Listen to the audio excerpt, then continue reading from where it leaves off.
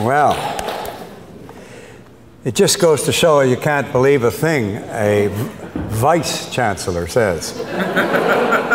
and George, don't worry, you'll never become chancellor after that. There's no hope. And for you, of course, you've had your fill of, you will have had your fill this weekend of chancellors, vice chancellors, former chancellors. Um, so uh, I apologize for that, but it's a, it's a wonderful job. The pay is extraordinary. Uh, the people you meet are uh, fascinating. And uh, every year you get to meet a better and better graduating class. So uh, if any of you are wondering what to do with your life, I could suggest you apply for the job of chancellor somewhere. and uh, not that there will be any vacancy here at King's with Kevin Lynch, of course. He's planning to settle in for the long term. And we were very lucky indeed to attract somebody of Kevin's caliber and, and, uh, and uh, devotion uh, as Chancellor of King's. Now, uh, George has made reference to the somewhat rocky start I had in my educational career, which continued throughout, I might add. Uh, having started at, as he said, he was right on this one, the Halifax Ladies College. And uh, according to my mother, my first act of disobedience was to cut off one of the pigtails of the girl sitting in front of me, for which I suffered the dreadful punishment of not being able to attend cutting out class for a whole week. Well, so upset was I that uh, I accepted a junior role in the Christmas pageant as the second hump on the camel. Uh, to absolutely rave reviews, I would say.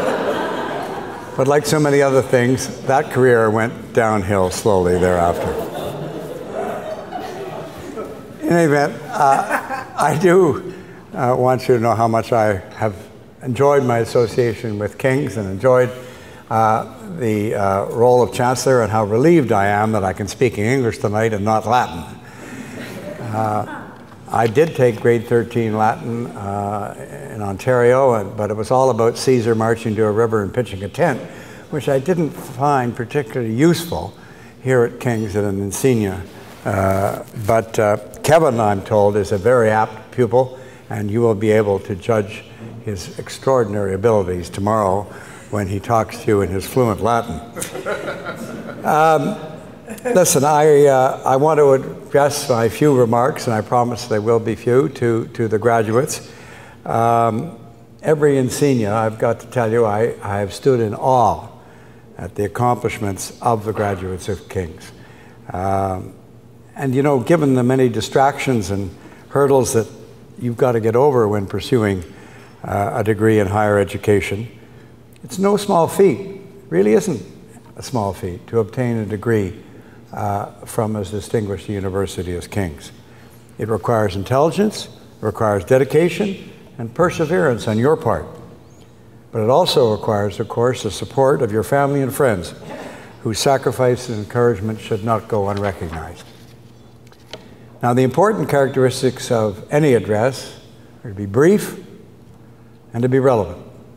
I can promise you brevity because I'm dying to know how the Habs are doing against Boston tonight. go, Habs, go.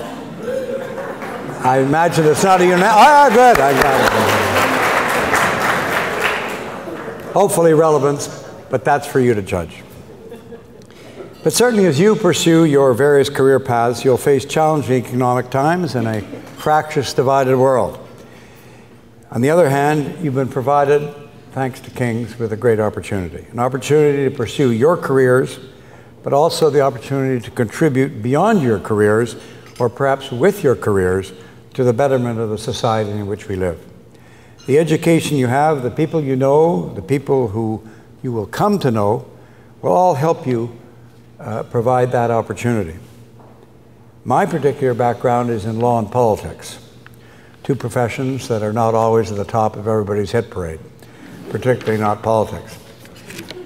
But contrary to many these days, I view politics as a public service and as a high calling.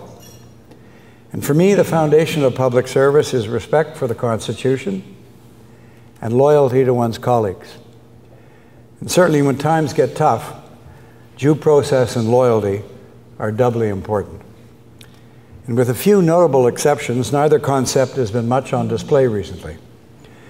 So, not surprisingly, people are wondering why our political leaders and what they do seem to be so disconnected, so disconnected from the concerns of Canadians, and why do the issues that are debated in our legislatures seem so distant from the real challenges faced by Canadians in their day to day lives? Where, one might ask, is the leadership? Where are the big ideas to move society forward? As one enters the center block in the Parliament buildings in Ottawa, carved at the base of the Peace Tower, is a sentence from the book of Proverbs Where there is no vision, the people perish.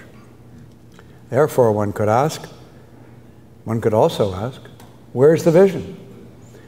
There are such great opportunities for leadership and vision in this country. Dealing with our environment, climate change, and balancing that need with the need to develop and transport our natural resources to global markets in the safest possible manner, to identify just a couple. But these comments about the need for respect, loyalty, leadership, big ideas, and vision apply to more than just politics. You don't have to be a politician to address the issues of the day.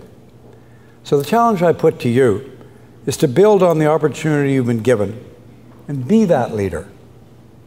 Develop the big ideas and create the vision that will serve you and this country as you discover a pathway to your future. Your professors and this university have provided you with the tools, those of a first class liberal education, which, in my view, and I don't think I'm alone in this, best prepares us for our lives as human beings and citizens. Dr. Donald Markwell, a noted Australian scholar in the fields of economics, education, and public policy, pointed out in an address delivered at Trent University in 2010, and I quote Contrary to some stereotypes, liberal education is not only or primarily about courses on great books or only classics and history and other humanities. Modern liberal education, at its fullest, typically includes courses in the life and physical sciences, social sciences, history, or other humanities, some study that relates to values and moral reasoning, some language, and so on. It will also typically include a strong emphasis on communication, and most especially on writing. Liberal education will also be accompanied by a focus on extracurricular activities uh, as part of the student's all around education. He went on to say liberal education does not mean that one does not get a specialized or vocational education at some point. Clearly, very many people need that. But the argument for liberal education is that it should precede, or at least at the, or at the very least accompany, more specialized or vocational education so that our graduates have breadth as well as whatever depth they get. And finally, he said this Various events of the last decade have highlighted the need for a broader education if one is to be able to fully engage in the world as it is becoming. For example, the terrorist attacks of September 2001 and subsequent events have highlighted the importance of understanding world religions and cultural diversity if current international conflicts are to be understood. Some of the corporate collapses of the last decade, such as Enron, have highlighted the importance of education in ethics or values. And the global financial crisis has highlighted the need for a greater understanding of economic uh, history and of a broader understanding of economic theory and policy. So, with the skills you've developed here at King's, you had the opportunity the opportunity to be a visionary, to lead, to think, to be creative in whatever area you choose to be engaged. It was the actor uh, and producer Alan Alda who said, Have the nerve, have the nerve to go into unexplored territory. Be brave enough to live life creatively.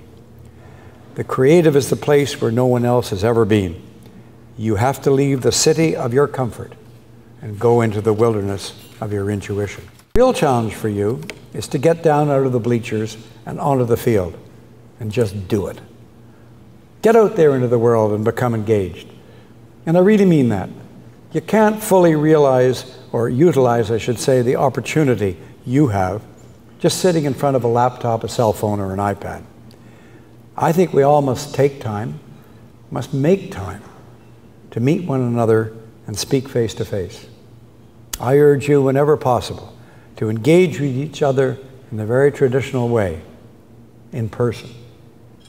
Your life should be a journey towards a destination, a destination where success is measured by what you have contributed positively to society, contributing in the realm of public service, in support of your community, the arts, the sciences, and your country.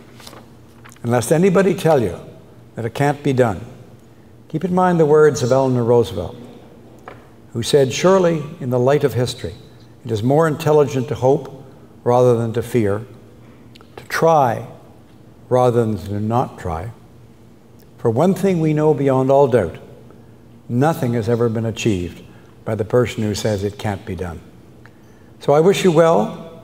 I hope you use the opportunity you've been given, accept the challenge, and use your talents, which are considerable, in the service of your chosen field, but more importantly, perhaps, in the service of others. And finally, echoing Bob Mann's charge to you, keep a little place in your heart for King's as you go forward. Thanks.